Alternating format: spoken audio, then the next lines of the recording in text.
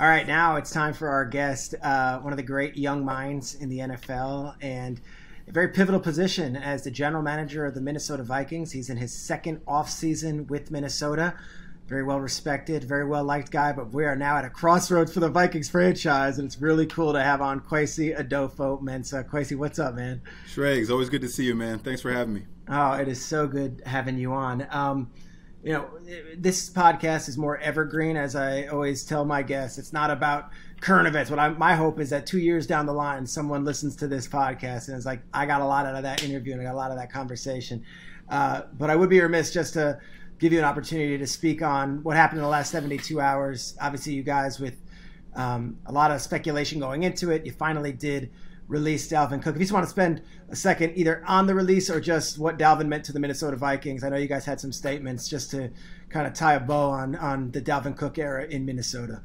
Yeah, you know, it's it's a part of the job. These are these are all really tough decisions. You talk about Dalvin Cook, a franchise pillar, um, incredibly productive over his time here, and I'm glad I got to see that up close uh, last year. A guy who wants the ball, wants to help his team win. Um, can do it from all levels of, of, of offensive play. Just a, a talented player. Um, his teammates love him. And again, these are really hard decisions we have to make. But you know, they give us constraints in the NFL, and you're always trying to build towards that ultimate goal. And sometimes these these decisions are the ones you have to make, and they they, they get made with a lot of uh, care and thought um, because obviously you're dealing with people, but also just Ring of Honor type players, which uh, mm. which Dalvin Cook is. Um, and again, the, these aren't these aren't these aren't easy. Uh, no no doubt in my mind. Uh, but ultimately we, we, made the decision and we wish him the best and, and, obviously we'll always be fans of his here in minnesota.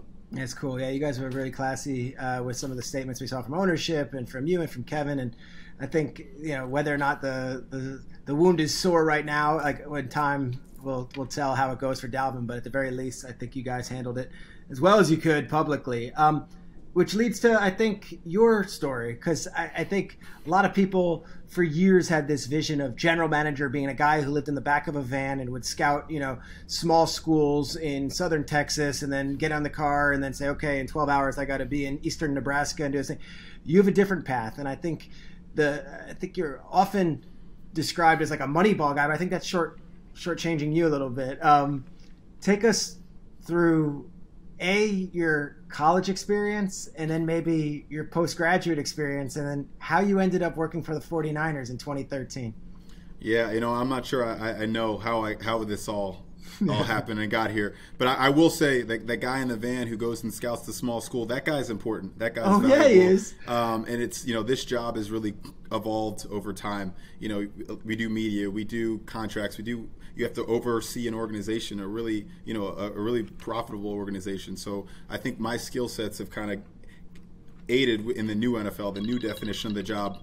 Uh, versus kind of what it was before, but you know, going back to my undergraduate experience, you know, it was crazy. Honestly, I was just a kid in, in South Jersey, immigrant parents.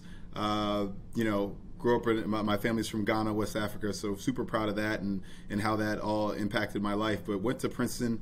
Uh, you know, I thought I was a cool kid and I was going to go study with a bunch of nerds. Uh, turned to, found out that I was just as nerdy as anybody else there. and uh, you know, but I you know I love my time there. I was actually I went there just as a student. Uh, really loved math and, and economics. That's what I studied. Happened to grow you know seven inches my freshman year, and uh, so I went from a, a, a a point guard who couldn't see over. Did you play ball guard. in high school? I so I actually got cut from the basketball team my sophomore year. Uh, really really tragic story. I, I, if you want to talk about it over, let's go. Let's dig in. All right. No, Cherry, what is it? Cherry Hill South? What was it called? What was the Cher- school? Cherry Hill East. Cherry Hill East Cougars. Cherry Hill East. Uh, shout out okay. to all my people out back there. Love uh, yep. so much love for my time growing up. But yeah, uh, you know, I was a cerebral point guard. I had handles, but I wasn't very quick. I hadn't really grown into uh, grown into my body just yet. Uh, there were some better players they thought were available, but ultimately, you know, you're never going to agree with those decisions. Everybody's been cut at some point in their life, uh, and but ultimately, you know, I, I, played golf actually in high school. I, I got cut really? for the basketball team, and became a, a high school golfer,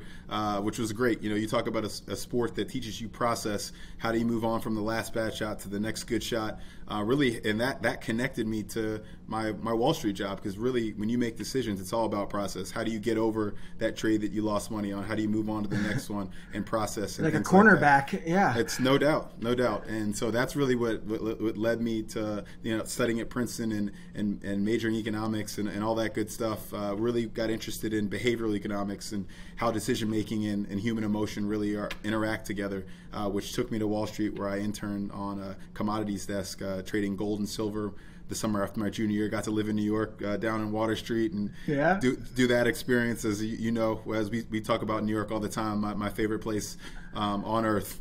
Uh, but you know that that took me there, and then obviously had that career. Went to Stanford, where I wanted to become an econ professor.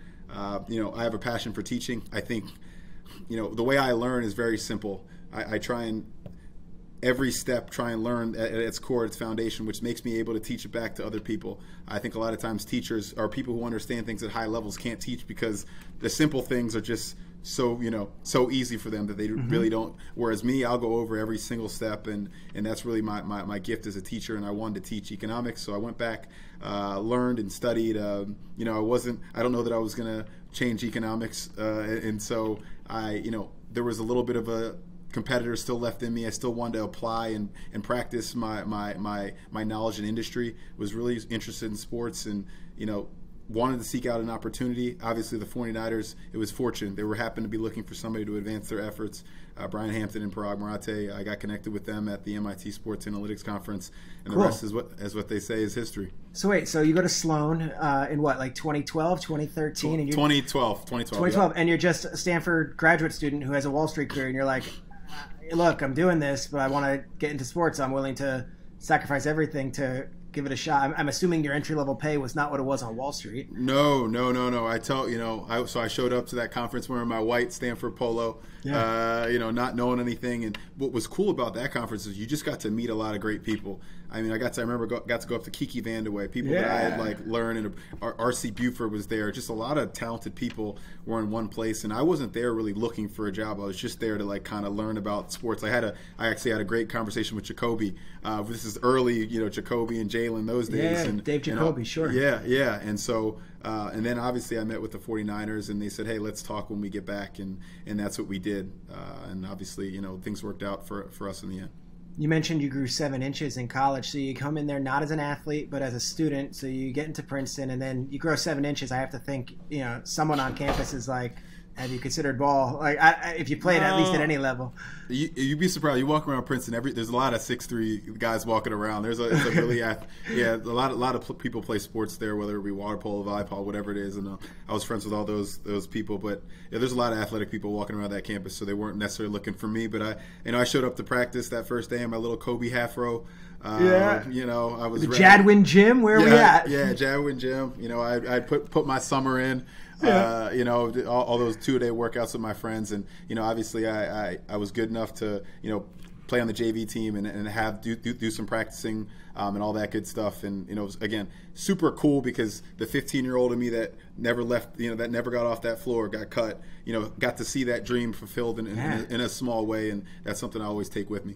That's awesome. Um, mentors. I feel like if you go to Princeton or you go to Stanford, you've got the leaders in thought and you've got the leaders in in you know leadership. Especially, let's go to Stanford. When I talk about Stanford football to a lot of people, it's it's often not, hey, I learned this from Harbaugh or David Shaw. It's I was also connected to this guy in Silicon Valley who, by the way, happens to run a venture capitalism firm and also is a mentor to X, Y, and Z. Like when you get to those institutions of that academic prowess with those alumni bases, did you know at the time like i got to make the most out of this and make connections or is it one of those things that if you just go there it's hard to avoid getting connected to the right people you know it's it's one of those things that i probably and i don't really live a life with regrets. If i could have pushed myself a little bit would have been more if i could tell any kid to come after me seek out those relationships. I kind of let them happen by chance. Mm-hmm. I happen to take a class with Daniel Kahneman. I happen to take a class with Burton Malkiel, who's become a, a, a, great mentor of mine when I was at Princeton and then at Stanford. Um, I was lucky enough to take classes with you know a Hastie. Uh, he's he's a really he's a big titan in the analytics world and, and different people like that. Um, it's so fortunate, but I don't know that I sought it out as much as I should have. And if I could go back again, you know, I, I Maya Angelou was at Princeton when I was there. Is that right? You know what I mean? Like you know, and I I, I that's you know I wish I had maybe gotten coffee with her or whatever, something like that. So for, to everybody who comes after me, please make sure you seek out those relationships when you have access to them. Yeah. Um, okay. So you get to the Niners. You're back in the Bay uh, after some time in New York. How did you apply your Wall Street skills and what you did, and then try to integrate that into what at the time, I know the Niners are always forward thinking, but also at the time, like football is kind of meat and potatoes as well. Yeah, that that was probably the, the biggest challenge. You know, I got there after they had won uh, three NFC championships in a row, been to a Super Bowl. I got there right after they had lost the Super Bowl. So I, I, am not going there thinking I'm helping them. Yeah. Right, I mean, they, they, they seem to have it pretty figured out uh, by them. So I really took it as just I'm gonna I'm here to learn. I'm gonna show them my thought process and how that works. And really, I, I think a lot of times in the analytics world, people are it's almost like a project where you're studying things, and that's good. You want to study things, but you also got to make decisions. And decisions have ramifications. They have good things that happen, bad things that happen. You have to be able to quantify them and really understand them before you make a decision. Uh, so that was, I would say, my best value add was really coming from a practical decision making standpoint and saying, hey, I know this is what the model and the analysis says, but I've I've done that. I've lost a million dollars in ten minutes. Mm-hmm. I know mm-hmm. how that feels. I know how this feels. I know the the, the emotional side of it, uh, and and really having to understand to get a whole building together behind your uh, thought process. That's different than just computing something into a code and outputting something that's very different. And so I think that was the thing they appreciated out of me, appreciated about me the most. And then second, I didn't know anything. You know, I'm here because I didn't know anything. Humility. Humility, right? I just well, it was easy because I actually didn't know anything, right? So I could go into an office and ask, "Hey, hey, CFO, tell me about the run game. Tell me everything you need to know," because I'm not insecure about that because I don't think I I'm supposed to know, and he, and he doesn't mind teaching me because I've helped him with some other thing, and so just so many relationships I've built. And I was just talking to our scouting associates who just got here to start, and I was like, just be just be curious. If you can do one thing, okay. be curious. Just just ask questions because I'm telling you, I've sat in rooms with people who've been in the NFL for 20 years who never asked that question and I'm like, well, I, I, know that, and I've only been in the league ten years because I because I wasn't scared to ask, and I don't I don't I don't think there are dumb questions. So that was really my the best thing that helped me get here. What was your life like in New York City when you were at Wall Street? You said you interned and then you took a job, so you don't have to name the companies or you can, but I see just on the website it says day trader. Like it could be a million things. So yeah. take us through your day to day as a young 23 year old Kwesi. Because like, I'll Boy. tell you what, you and I have talked about it. I did my 20s in New York. Different deal. I wasn't a Wall Street guy. I was more of a struggling uh, sports writer living with five guys in a loft. But I think we had similar paths, Dude. I'm sure, where you work hard, you play hard. No doubt, man. We, we st- I had similar paths. You know, I lived with five five and then six guys in a loft. Uh, six we, guys. We, six guys, man. We still have a we still have a text group called Hotness because uh, that's what we because that's what we called our place. I love those guys to death. Those brothers. Where was the place? Life. Water Street? Is that where you live? No, no. Uh, that place was 30th and Madison. Okay, Murray yeah. Hill, heart of Murray, it. Heart You're at it, Bank man. Cafe every day. Let's go. Bank Cafe. We had a little deli, Miss K's Deli downstairs. Yep. Uh, I don't know how clean it was, but we ate there a lot. Uh, no, man, I, I smile so much because that time of my life was just such a blessing uh, living in New York City is something that I'll always just be grateful that I got to do all the experiences. You know, you, you go out in New York City on a Friday night with your wallet and your cell phone, and anything could happen. It feels like anything could happen. Anything could happen. Uh, and it just. But that, you also meet anyone and everyone from all different backgrounds, and we joke about it like, "Oh, it was crazy, wild times," but gosh, uh, I'm raising my kid in New York City. Like, oh. I, think it's a pretty cool cultural experience. It's it's incredible, man. It's you know, you're you're in your Friday night in New York is very different than your Tuesday afternoon New York, right? There's yep. different peoples, different vibes. Uh, just again, such a blessing, but. You know, connecting that to the work side of it, yeah, we, we worked really hard too. Uh, getting the trade is, a, is an education that I, I just I'm so fortunate for. I feel like the world has become so dug in on what they think, and for me, I got to go make decisions and be wrong and be right, but also be wrong and have somebody really smart take the other side of my view and have to think about that and being like, hey, I, think I'm smart, but this person's really smart and they disagree with me. Maybe I'm missing something. Maybe it, it, that, that open mindedness that I have comes from pain and loss. It comes from being on the other side of really smart people who were right sometimes and when, when I was wrong, and really just not thinking I have the world figured out and and, and that that just that that blessing that I, I was able to receive in that education is something I, have taken with me, and I try and give back to other people. I actually have a nonprofit where I try and teach, really, you know, yeah, finance to to. What's it called? Know, uh, donut, uh, it's a you know donut. It's a term we used to use on Wall Street. A, a friend of mine made up where you don't want to. Obviously, a donut's a bad thing. So I'm trying to teach people to obviously not be a donut, and I do it with some of our players. And I think all this stuff in finance is learnable. It's really applicable to every aspect of your life, and so I'm passionate about giving back to other people. Yeah, uh, you know, you said you went to the Sloan Con. I'm sorry if I'm fixated on this area of your life, but yeah. so many listeners of this podcast are on the treadmill right now. They're traveling, they're on a plane, and they're flying to another sales convention, or they're working out because they've got to get to the office by seven. And if I only had the opportunity to, and like we know it's a giant leap, but you made the leap. Was there a morning where you woke up and were like, I just can't do this anymore, or was this where you were like, I'm a single guy and this is what I want to try to do? Like, what what was there a turning point, or was it just this is months in the making? Yeah, it was it was a longer decision. I, I just and as much as I loved Wall Street, I just didn't want not not to be morbid. But I always Yeah. think about what what do you want your tombstone to read? Wow. You know, how, how do you want it to read? And and I didn't want that to be the sole thing that, that, that was on there. Not not that it was a bad thing, but just I wanted more uh, in my life. And so, you know, I think I always wanted to pivot at some point to do something different. And obviously, football just came calling. I was really fortunate to go meet everybody at the the Sloan conference. Uh, but there were a lot of hard days, man. Uh, you know, I think you asked me earlier, going from what I was making to Hmm. to. I mean, you're talking about making one. I think I did the math. It was like one twentieth of what Is I that made, right? right? I mean, one twentieth one twentieth, right? So you- with you no guarantee that there's a huge upside. no guarantee, right? It's crazy. My, my, my boss who wrote my recommendation uh, for Stanford, you know, when I got in and I was leaving, he's like, "So you're really going?" Like, you know, I don't think I would be as a me. friend. I would have been asking you the same thing, dude. and you know, obviously, it, we're, we're all glad that it worked out here. But there were a lot of days where I was like, "What did I do?" You know, there's certainly. I'm not going to sit here and tell you it was this easy, you know, easy path. I, I went from you know money not being a, a big variable in my life to hey, maybe hey, what, what's that coupon? Uh, coupon? What's that? Cut what's that that? back. yeah, let me cut Ramen's not terrible for a Tuesday night. Yeah. And so you know but i'm again i'm so fortunate to have had that experience and and grown from it i was i took it as a challenge how do i how do i humble myself how do i change my life to to accomplish my goals and you know i'm glad i, I did it I, I said the Moneyball thing because I think uh, when you got hired, that was thrown around a lot, and I kind of cringed because I'm like, he's more than that. Obviously, he's had a decade of experience in the NFL. He obviously scouts players. Like, um, they go from Trent Baalke to John Lynch. There's also new leadership. How do you kind of integrate yourself into a new GM and try to sell yourself again and say, here's what I bring, here's the value. I know Lynch is one of the greatest, but like that's a thing also. The new boss in town. It, it 100%. I got to give a lot of credit to JL. JL is one of the most open-minded, collaborative people I've ever met, um, and so a lot of that was just him wanting a lot of smart people in the in the room. And he's like, "Hey, if this guy's smart, I want to I want to use him." And so honestly, randomly, I had met JL my second week on the job. He was doing TV, a preseason game, and Yep. they had asked me to go spot. You know what spotting is? Yes. Yeah, I I, I, I didn't know what it was, and so I show You up. You were the spotter, like, hey, the the third lineman on a spotter for the listeners at home.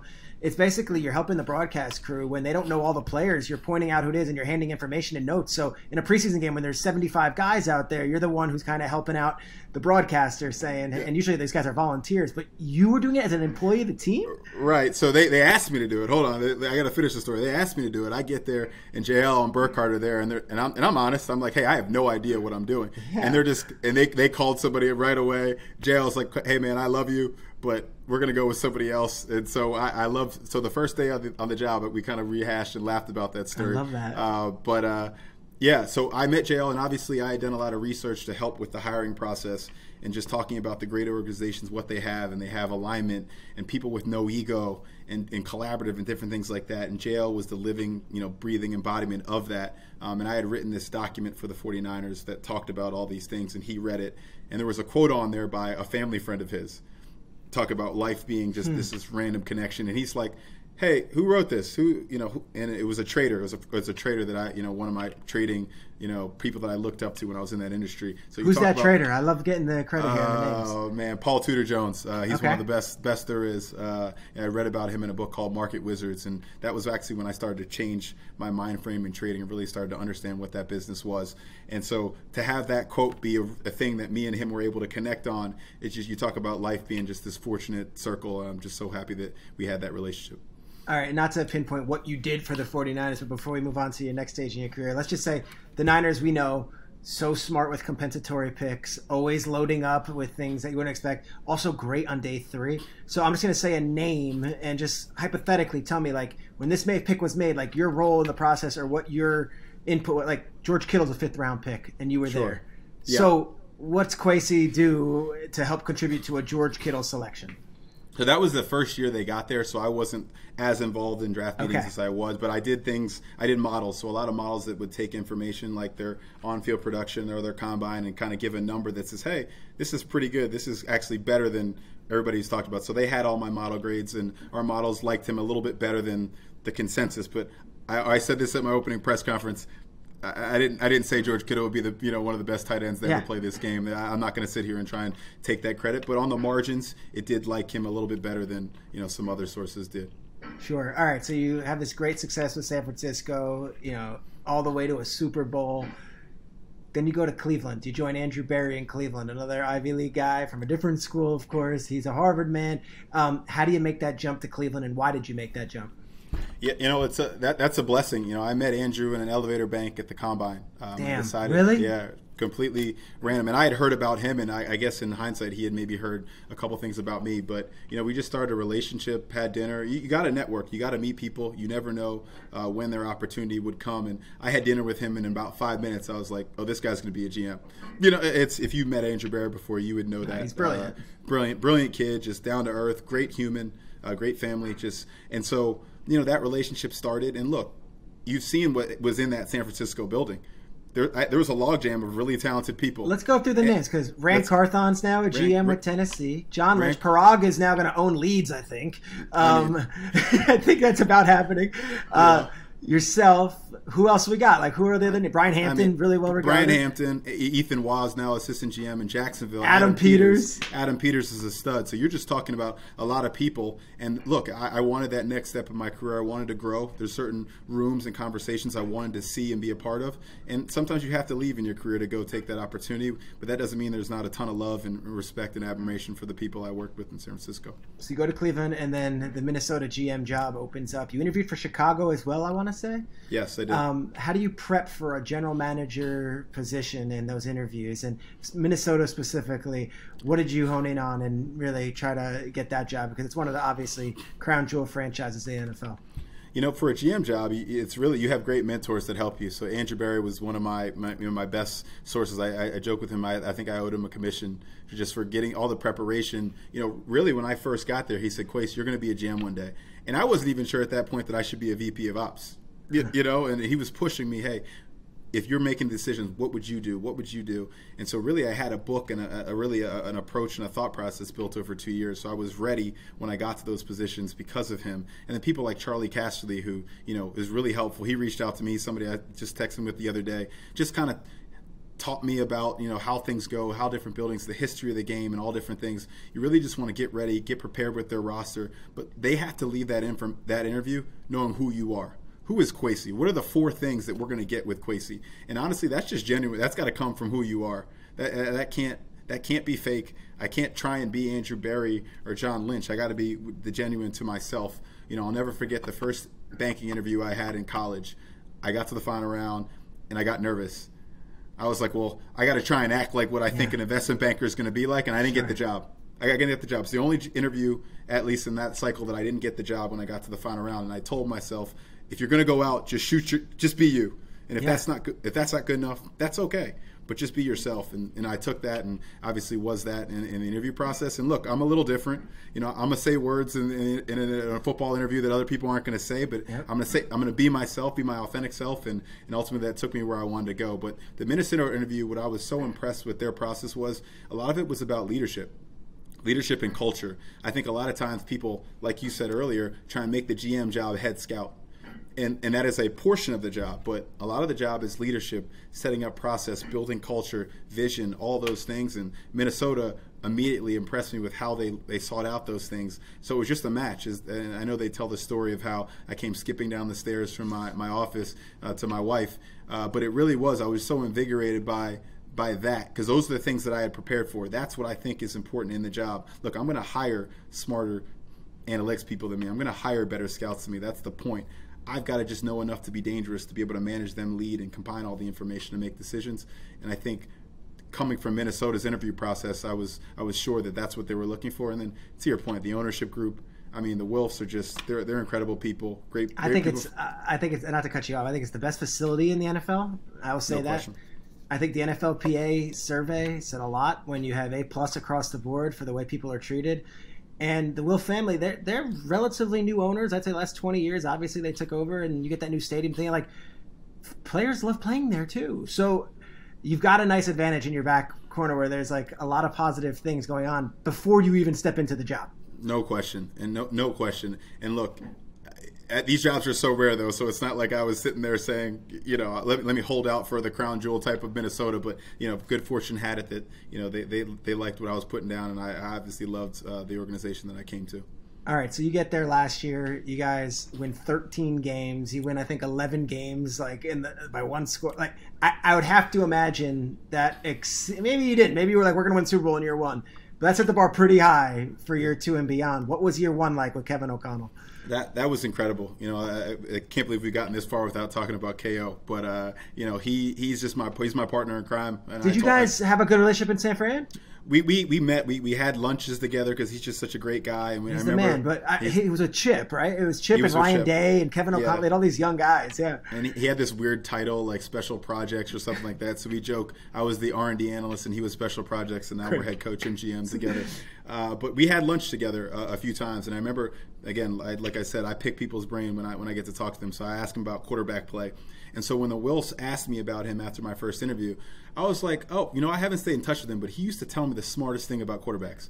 And I, and I just kind of left, not thinking anything yeah. of it, you know. And and obviously, then I, I get to the, the GM job, and I know that they, they think they're in high regard with him. And I, I watch the interview, and I start doing my reference work. And I mean, he's he's a he's a home run A A plus guy, and I think we can win championships together. I just got to do my part of the, the equation and, and, and handle handle the business. But you know, last year was incredible, you know, and obviously it set a high bar. And you don't know, you, you can't, when people say exceed expectations, in the NFL, there's just, the, the margins are so thin. So, so thin, right? You know. And so I think you can generally say, hey, I think we're a playoff team or we're a team that should be Final Four good or, or maybe bottom third good, but you don't really know specifically, as you said, 13 or 11 one score games. Four of them go differently. The record's different. I understand that. I'm not, I'm not going to sit here and tell you I don't.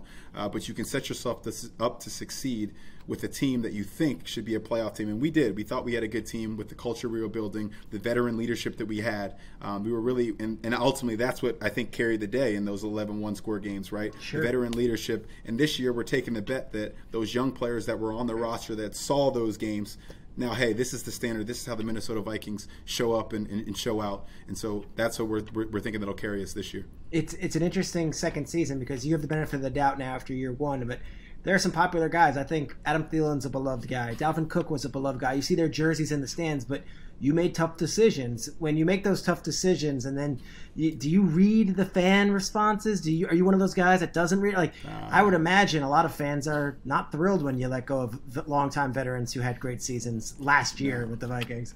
I got to stop you. I don't know that you get benefit of the doubt in this business. I think it's, it's a it's a very urgent business. The second that season ended, I, I went back to you know not make not knowing what I'm doing, and, and that's mm-hmm. I, I, respect that. That's that is the job. Um, I'm one of those GMs who doesn't read it. Uh, pretty private person. So one of the per, one of the hardest parts about this job for me is that you know I, I people say my name or anything like that. That's really hard for me. And so the way I kind of stay out of that is to just kind of not watch it. I tell my friends, please don't send me anything. And it's good or bad. It's nothing to do with that. It's just, you know, I just want to stay focused because I'm really hard on myself. I, I don't know that any commenter on Reddit or Twitter or announcer could be any harder on himself than myself. Uh, and so, trust me, if, if, there's stuff going wrong in this building, I'm the one who's who's driving that uh, and, and, driving us trying to get better. And so, yeah, but those are hard decisions. I can't sit here and tell you I know for certain, right? Decision making under uncertainty is because you don't know. Uh, but you have to have a good process, make your bets, and, and ultimately live with the consequences. And that's what we do in this building really quick, a couple quick hitters, and then we'll let you go because this has been really informative, and we've gotten to know you at a different level than just transaction X Y Z. Here's how it was done. Um, your greatest mentor uh, of your career, who you would point to and say, "This is the person I, I take leadership lessons from," would be who? Oof. Oh man, come on! It's like naming my top five rappers, man. I'm, I'm gonna hurt somebody if I leave them out. Yeah, I gotta name one. Name two or three. Let me hear the names. I love this stuff. All right. Okay. I'm gonna go Andrew Berry. Obviously, okay. I think he's a superhuman. Uh, I don't. I don't. Sometimes don't know if there's anybody more qualified to do this job than him. Uh, John Lynch, just the genuineness with which he conducts business, open minded. It's like all the stuff I talk about. Just really uh, a hero of mine. And then if I can give you like an off one, yeah, you know, outside of football, my mom. uh, my hero. You know, I think she's an incredible person. She taught me how to lead her way. Um, her way was demanding process. She always demanded that I tried hard. It was never about what happened at the end of the result. It was, hey, well, what did you put into it? Can you get better next time? Uh, her emotional, just compassion for people, and that's how I try and lead. I, I, need people to know that I care about them a lot, and that's something that's big with Kevin. So I, I'd be remiss to not mention her as well. I love it. The unsung member of the Minnesota Vikings roster that people might not talk enough about that you guys look at and you're like, that guy's a core pillar to what we're doing. Josh Metellus. Josh Metellus. I think go he's on, a guy. talk because yeah, I, I hear that name. I'm like, I don't see, I, you know, okay, yeah, go. Yeah, he's a safety, and, and, he'll he'll play some more this year. So I think you'll see the stuff that we've seen uh, before that. But he was a special teams just stalwart last year, uh, team captain type. You know, I was in the team meeting room when uh, later in the season after somebody got hurt. He was given team captain, and you could feel when somebody's teammates really love them, really appreciate them, and really want to follow them into battle. And he's one of those guys. Uh, he's somebody. He's everything that the Minnesota Vikings are about, um, and, and, I think the, the, the fans and people are going to really appreciate that more this season. Kirk Cousins' best quality is what? Um, he can make every throw. His arm talent, he's inc- he's accurate. He can hit every level throw. Um, the decision making is is really solid. He the game of football is you you hold that ball, that beautiful ball that means everything, and you got to make sure that you take care of it. You don't give it to the other team, and you take chances when it's time. Uh, and obviously, he would tell you you could always improve, but that's one of the best things he does is make sure that he gives us a chance to win every Sunday, which he has done uh, time and time again in his career. Your top three rappers are whom? Ooh, well, I, okay, I came up in that era. Uh, okay. Notorious, Notorious.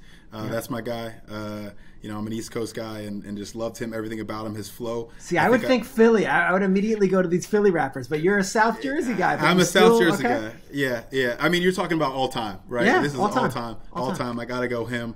Um, you know, I'm a huge Jay Z fan.